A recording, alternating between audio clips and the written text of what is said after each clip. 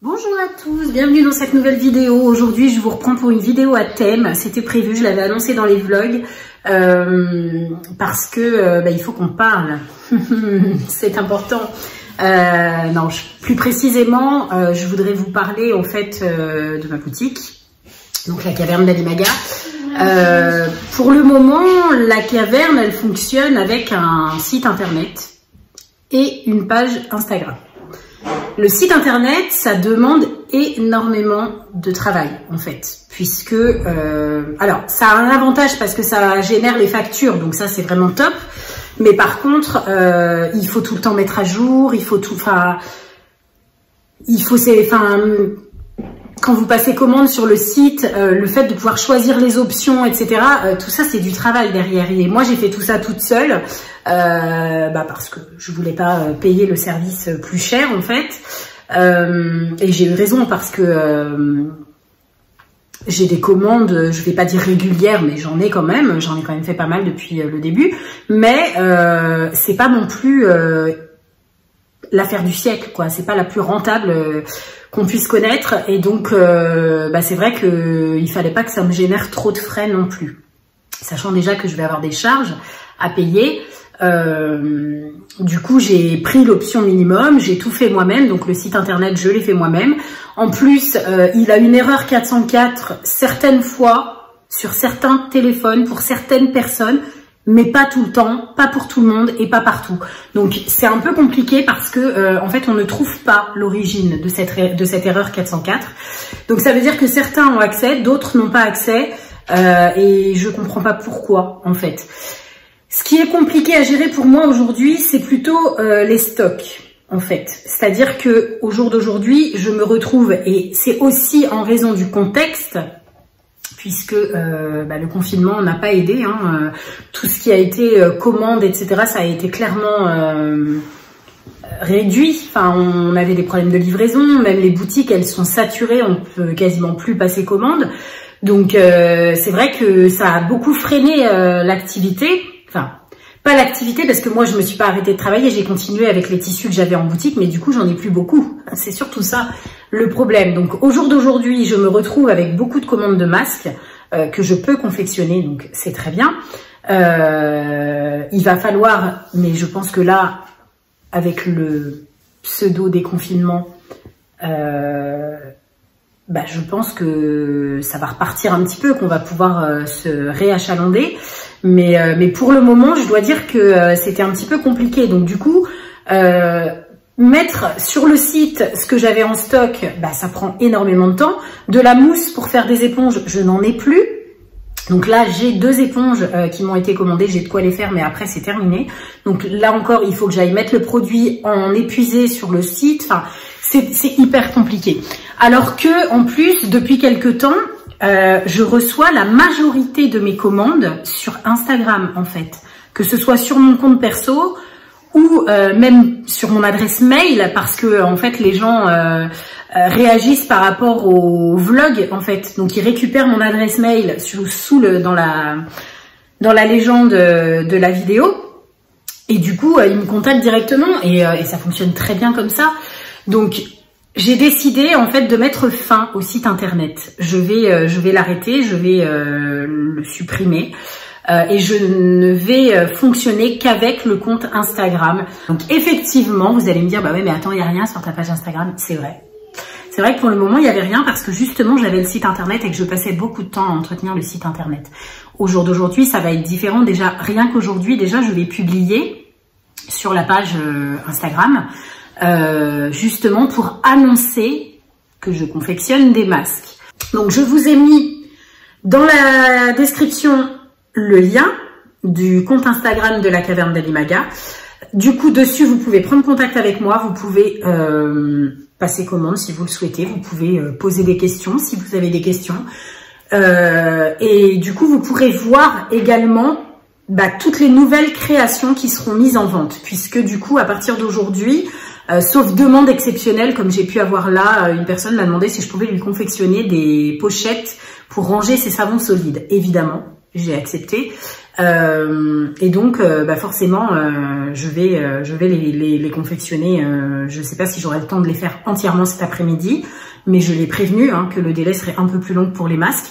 Et donc, du coup, bah je, je vais m'occuper de ça rapidement. Je les mettrai sur la page euh, Instagram parce que si quelqu'un en a besoin également, je peux tout à fait en confectionner d'autres.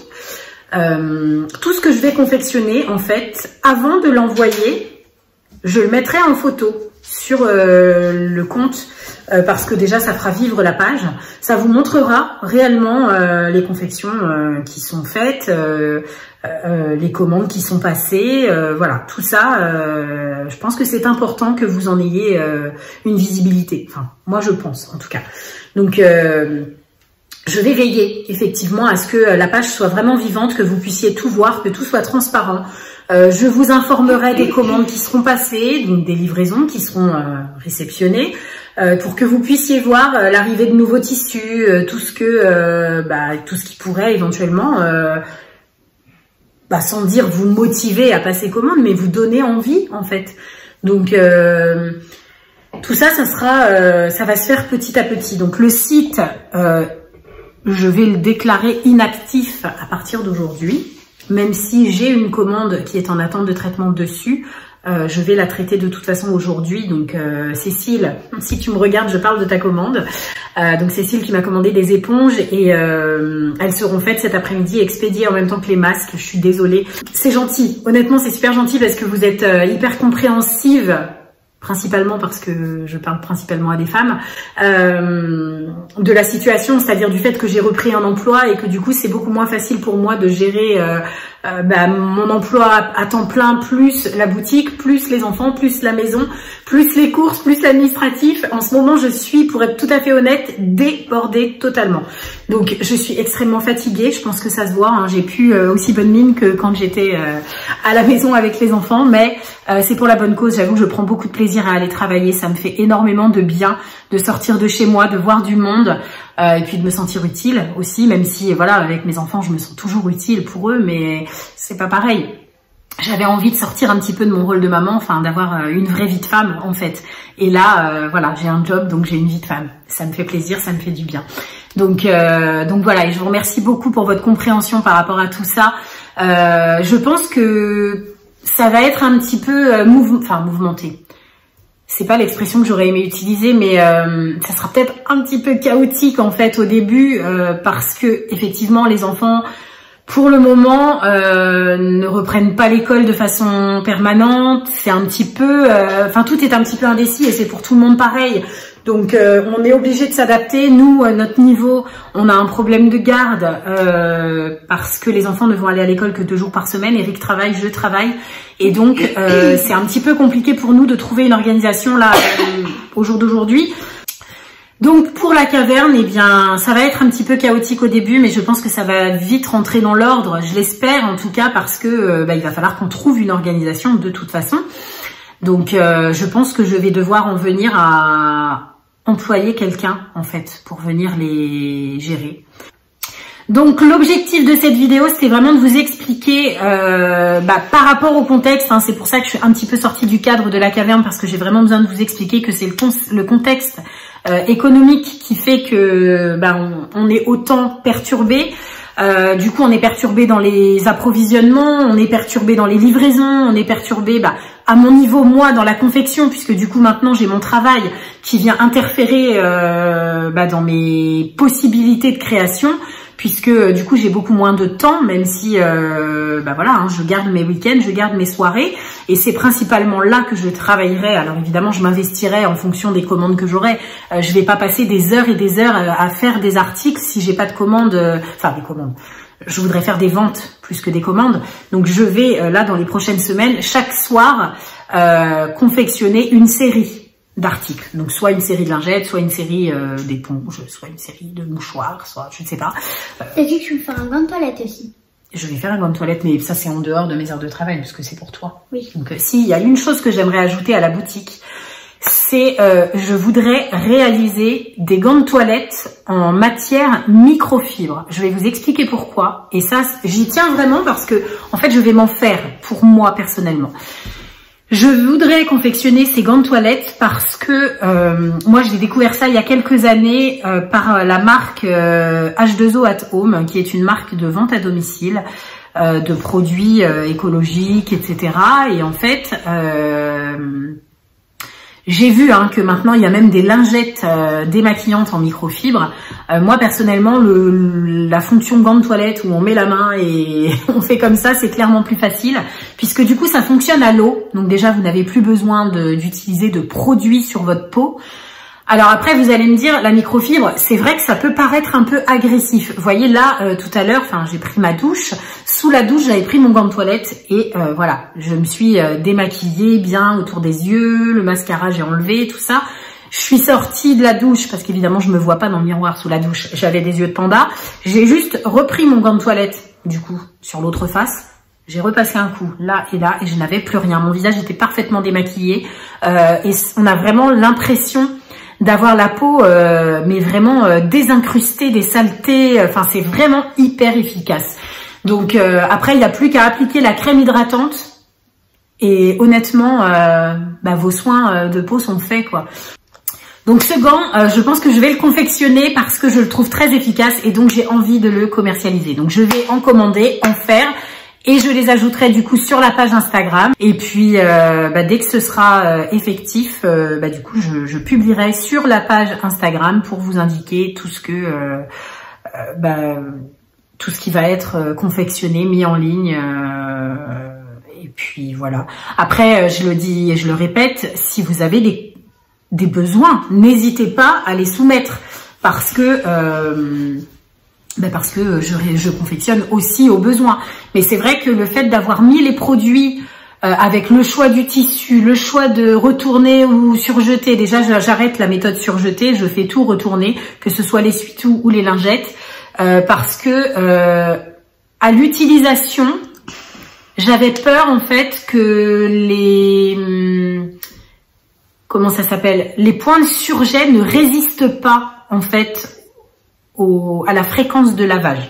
Donc je ne sais pas si ce sera le cas, mais c'est une crainte que j'ai eue. Et donc je me suis dit, il vaut mieux éviter avant d'avoir des retours. Euh, évidemment, si des personnes, enfin j'en ai, vendu euh, deux, des rouleaux d'essuie-tout. Euh, si ces deux personnes m'envoient une photo en me disant, regardez l'état de mon essuie-tout, c'est pas normal. effectivement, c'est pas normal et j'en reconfectionnerai un euh, gratuitement euh, pour remplacer celui qui a été euh, usagé de façon trop rapide. C'est logique.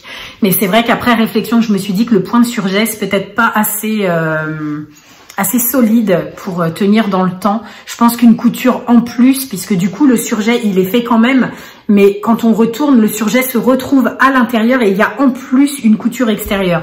Donc c'est quand même beaucoup plus solide. Voilà.